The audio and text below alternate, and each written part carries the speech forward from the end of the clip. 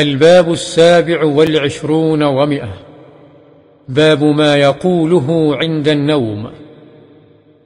عن البراء بن عازب رضي الله عنهما قال كان رسول الله صلى الله عليه وسلم إذا أوى إلى فراشه نام على شقه الأيمن ثم قال اللهم أسلمت نفسي إليك ووجهت وجهي إليك وفوضت أمري إليك وألجأت ظهري إليك رغبة ورهبة إليك.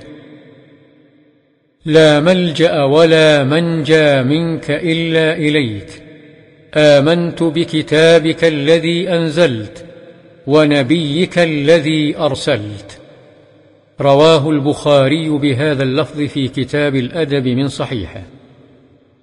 وعنه رضي الله عنه قال قال لي رسول الله صلى الله عليه وسلم إذا أتيت مضجعك فتوضأ وضوءك للصلاة ثم اضطجع على شقك الأيمن وقل وذكر نحوه وفيه واجعلهن آخر ما تقول. متفق عليه.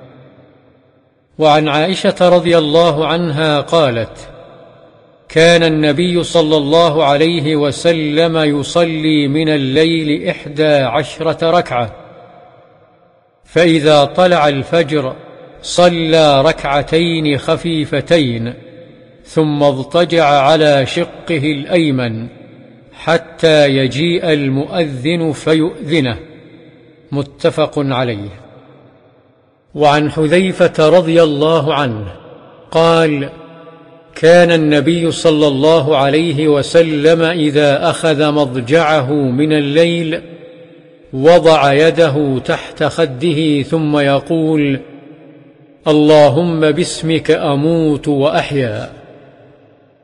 وإذا استيقظ قال الحمد لله الذي أحيانا بعدما أماتنا وإليه النشور. رواه البخاري.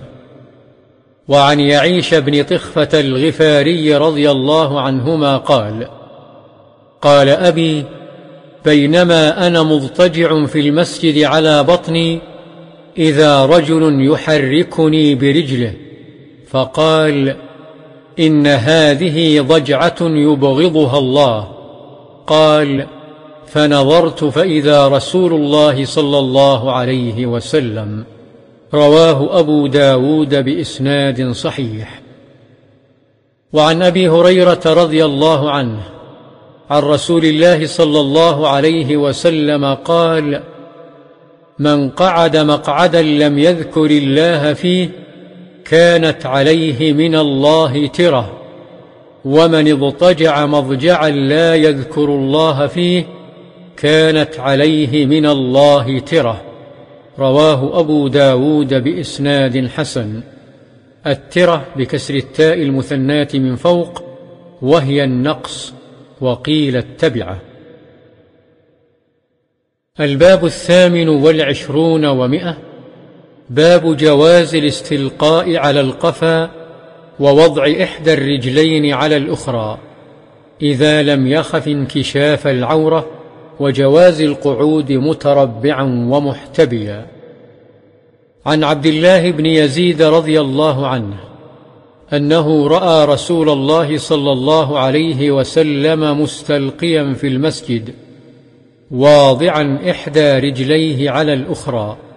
متفق عليه.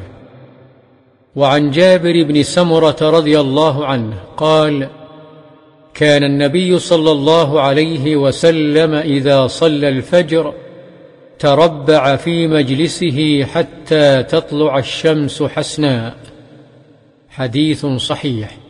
رواه أبو داود وغيره بأسانيد صحيحة.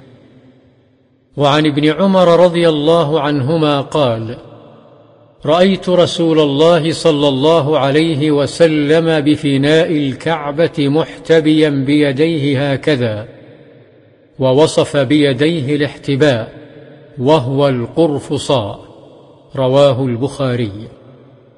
وعن قيلة بنت مخرمة رضي الله عنها قالت رأيت النبي صلى الله عليه وسلم وهو قاعد القرفصاء فلما رأيت رسول الله صلى الله عليه وسلم المتخشع في الجلسة أرعدت من الفرق. رواه أبو داود والترمذي.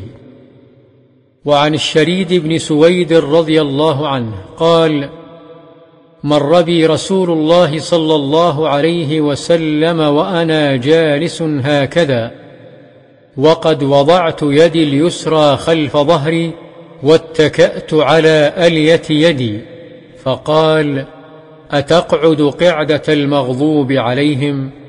رواه أبو داود بإسناد صحيح.